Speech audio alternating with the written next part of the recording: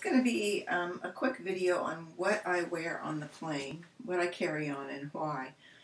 Um, when I get dressed uh, to, to do my flight, the first thing I do is I put on my long johns.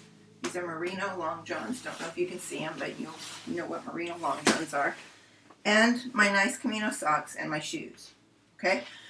Then I put on my Macabi skirt, and I'm going to do a video on the Macabi skirt for you. Then I put on my merino wool long sleeve top. Um, I take my bracelet, which has my paracord on it, just in case I need clothing for anything. After that, and I layer, and this is how I layer when I walk on the Camino in cold weather too.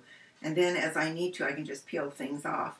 On top of that shirt, I put on a short sleeve shirt. Just in case it is hot on the airplane, I can go in the bathroom and take this long sleeve shirt off and then I'm fine. But chances are I'm going to be cold, not hot. Um, on top of that, oops, here he is. On top of that, I put my nice warm cashmere sweater. I get these at Goodwill in the men's department. Men used to wear a lot of cashmere sweaters, and you can still find them if you look. Um, it's wonderful. It's very, very lightweight. It's as soft as a bunny rabbit. You can wash them and put them in the dryer in the United States. I wouldn't put it in the dryer in Spain. I did that once and it shrunk up to the size of a five-year-old. But if you're careful with it, you can wash and dry it uh, in the dryer. This one, for me, is an extra, extra large. So I must have put it in the dryer because it's now shrunken down to about the size of a medium. Um, I got one for Joe recently. This is uh, this is an extra large, and I actually did wash and dry this one. Um, but oh, they're just so soft and so warm and so lightweight. I love it. So this is the next thing I put on because I get cold in those cabins. I don't know why, but I do. Okay, so this is the next thing that's going on. Yeah, I'm toasty one. And then I also, when I'm walking the Camino, and then also um, on the plane, we'll take my very lightweight. This is just a featherweight windbreaker. This particular one is made by Sierra Design. It's a large. This thing is really warm. It blocks every bit of wind. I can wear this over a short sleeve shirt and I'm pretty darn warm. So even in the coldest of weather, this is how I will dress for the Camino. Get up in the morning and go. I rarely wear gloves, but I do carry some. Um, if it's super cold, my hat is in here. I may put on a buff. And then as I walk, I'll just start peeling things off. And also on the airplane, I can peel things off.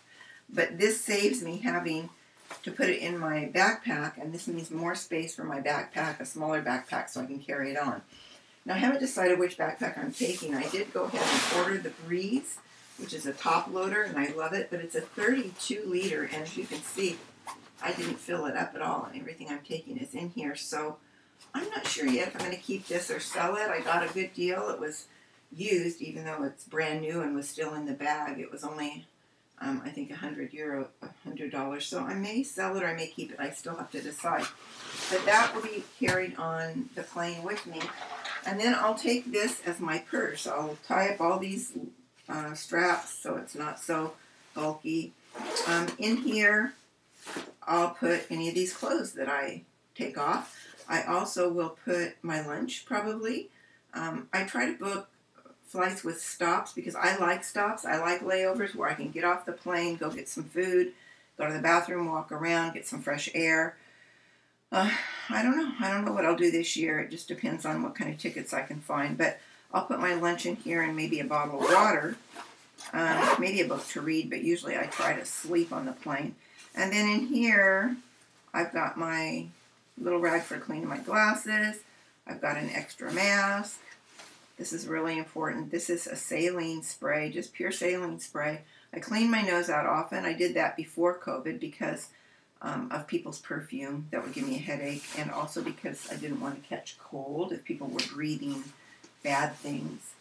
Um, I always have an extra pair of glasses with me, so that'll go in here. And so this I would carry on like a purse uh, when I first get on the plane and it's empty because I'm wearing all these clothes, I might fold it up and put it inside my backpack. Um, so then I only have one item. But if I carry on my pack and I take this and say this is my purse, usually I don't have any problems. So that's what I wear on the airplane. Um, usually I'll have a packet of Kleenex with me also. I don't know where I put that, so I didn't put it in. So that's it. That's what I wear on the plane, and that's how I go. And um, yeah, I hope this helps. Look, I don't look like anybody special. I don't go out and buy brand new clothes for the Camino. I don't think it's necessary. Wear what's in your closet or go to Goodwill. It doesn't have to be expensive to go on the Camino. And during the summer, people say don't take cotton, don't take cotton. But if I'm walking in the summer months, I take lightweight cotton wear because it dries overnight. Or, or if it's hot enough, you can walk with it damp the next morning. You just don't care. So I don't worry too much about that.